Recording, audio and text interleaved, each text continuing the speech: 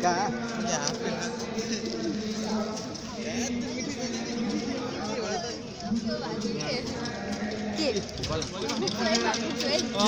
Your velocity must exceed 3.3 meter per second. Threshold.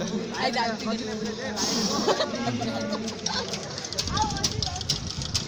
Yeah, yeah. काटनी है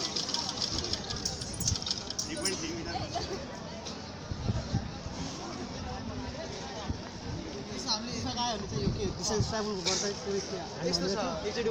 हामीले यो चाहिँ डेमोन्स्ट्रेट चाहिँ के गर्न खोजेको भन्दा म्यानुफ्याक्चरिङ प्लान्टमा डिफेक्ट आयो भने कसरी छुट्याउने होइन? सेतो डिफेक्टलाई यतापट्टि छुट्टिन्छ कालो डिफेक्टलाई यतापट्टि छुट्टिन्छ। हाम्रो नर्मल जिम भनेको हाम्रो नर्मल प्रोडक्ट यतापट्टि आउने होइन? इन्डस्ट्री सम्बन्धी। इन्डस्ट्री सम्बन्धी। इन्डस्ट्रीमा प्लान्टमा डिफेक्टलाई कसरी छुटाउन सक्छ भन्ने कुरा हो। अनि हामीले चाहिँ के युज गरेका छौँ भन्दा यहाँ सर्भोले अँ, यहाँबाट एक एकवटा गरेर टी लान्छ होइन मेकानिजमबाट अनि त्यसपछि सेन्सर भाटामा गएर एकछिन रोक्छ सेन्सरले डाटा रिड गर्छ त्यसपछि हाम्रो गाइड वेमा झर्छ गाइड वेबाट कन्भेयरमा आउँछ। अनि कलर सेन्सरले रिड गरेपछि चाहिँ के गर्छ भन्दाखेरि कलर सेन्स सेन्स गरेपछि यहाँबाट यहाँ आउन अथवा यहाँ आउनको टाइम कति छ त्यो प्रोग्रामिङमा राखेर त्यति त्यति टाइम इन्टरभलमा चाहिँ यो चलाइदिए अथवा यो चलाइदिए होइन? यदि सेतो हो भने यो चलाउँछ कालो हो भने यो चलाउँछ यदि नर्मल छ भने यहीँ आएर कलेक्ट हुन्छ।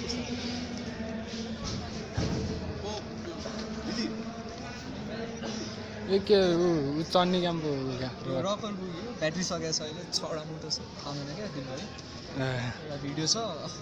लिन गएको छ एकछिन पर्ख्यो भने आउँछ होला। के हो नि रोकर बुग्यो कुन कुन क्याम्पस हो हामी यहीँको हो। यो चाहिँ अब जस्तो पनि टेरेन अनि इभन अब्स्टिकल्सहरूमा चढ्ने भयो क्या छवटै खुट्टा भुइँमा भएर। होइन?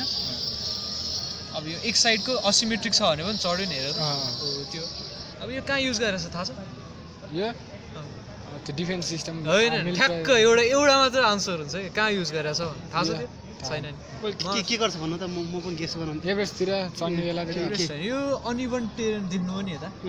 खल्ट्याङ खुल्टुङ बाटोमा छवटै जग्गा भुइँमै हुने गरी हिँड्न सक्छ क्या।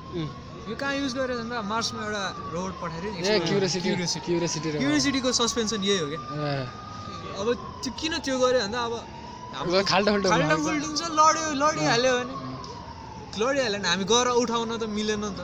फेरि अर्को पठाउनु पऱ्यो यस्तो भएपछि छवटै अब हजुरलाई थाहा छ नि पाहाडमा चढाउँदा त्यो बोलेरोहरू राम्ररी चढ्छ नि। टाटा न्यानो भन्दा। किन? बोलेरोको चारैवटा चक्का घुम्छ। मोटरले घुमाउँछ त्यो हिँडेर घुम्छ त्यो फोर विल ड्राइभ भएर सेक्योर भयो। अब यो सिक्स विल ड्राइभ छ। खाल्टाङ खुल्टुङमा हिँड्न सक्ने भयो कि अब यसको अब्स्टिकल्स त्यो सब पल्टिन्छ कि भनेर? यो कसरी त्यो भने यस्तो यो सानो प्रोटोटाइपहरू एउटा जाइरो युज गर्यो होइन? ठुल्ठुलो उसमा चाहिँ मोडल कस्तो छ भने चाहिँ तिन चारवटा जाइरो।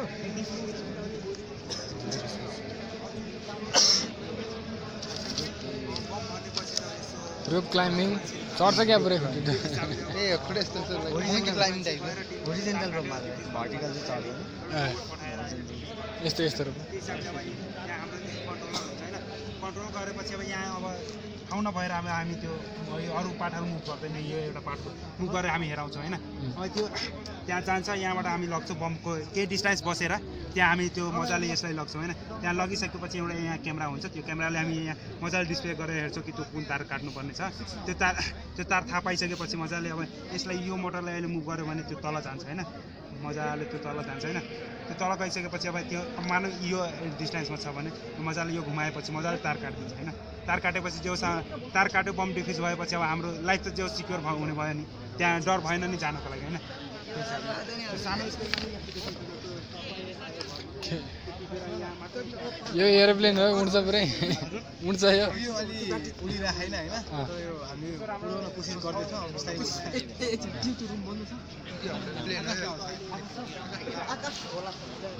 के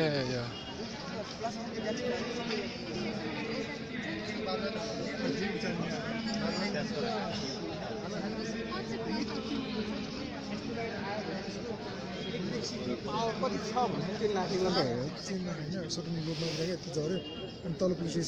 अँ एकचोटि सक्यो। र इलेक्ट्रिकलमा होइन? अहिले एप्लाई गर्नु अनि त्यसको लागि चाहिँ लिफ्ट चाहियो क्या। त्यो बल चाहिँ राइटिङ मेसिन राइटिङ मेसिन नै सिएनसी कम्प्युटर न्युमेरिक कन्ट्रोल ठिकै छ केही छैन? छैन के हो केटा बुझाउन न पनि यसो बुझ्ने हो दाजु सिएनसी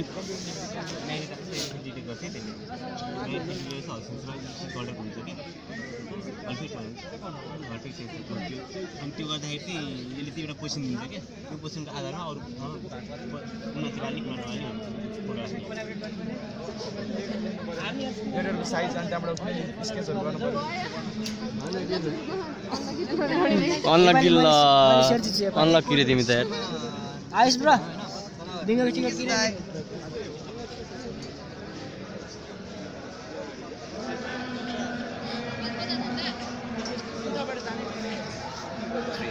वाल प्लास्टरिङ त्यहाँ आउँदैछ हौ भोटिङ यहाँ छ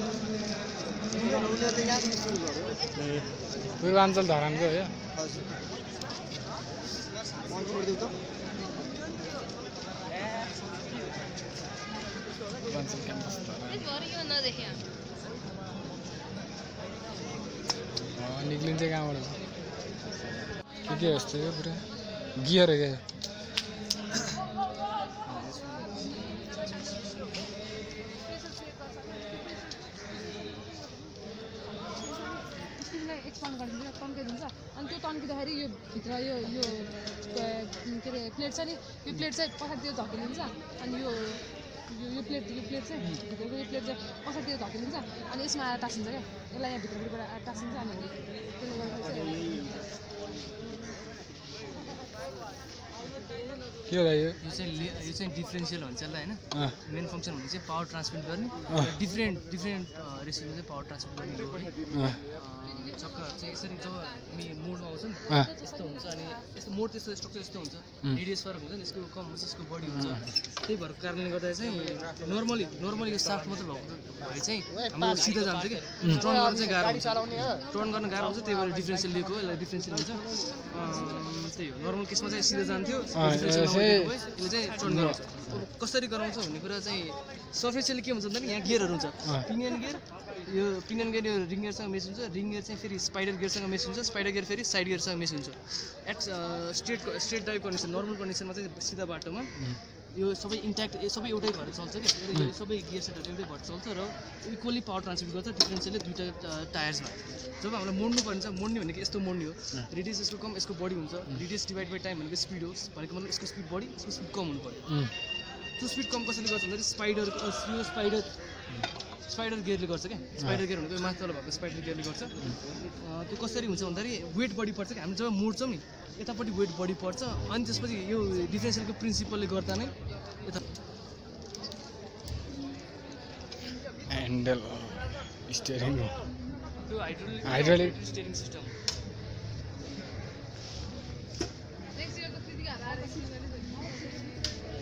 थाहा हुनु पऱ्यो नि आफूलाई स्क्रिन पढाउँछ नि मिनी वाल कलर वाट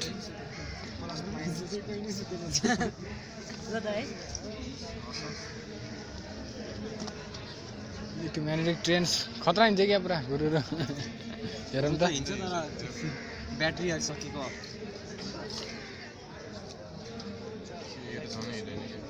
म्याग्नेट सकेको ब्याट्री छ म्याग्लेट ट्रेनहरू म्यागलिभ त होइन त्यस यस्तै प्रिन्सिपल हो।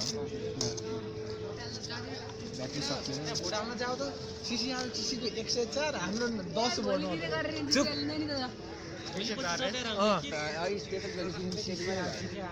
हाम्रो आइतबार भइहाल्छ नि के ब्याट्री कम? ब्याट्री सकेकै हो।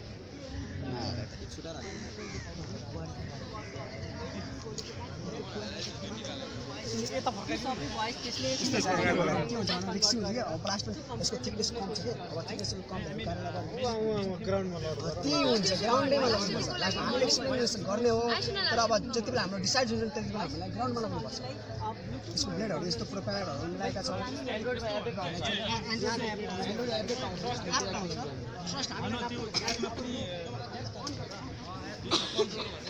फर्स्ट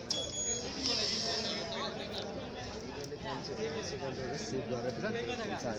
ब्लेडहरूले काट्दै जाने हो तिनीहरूलाई अनि चाहिँ अब यहाँ खाली ग्यापहरू हुन्छ त्यसले गर्दाखेरि त्यो खेलेपछि सट्टा अलग भएर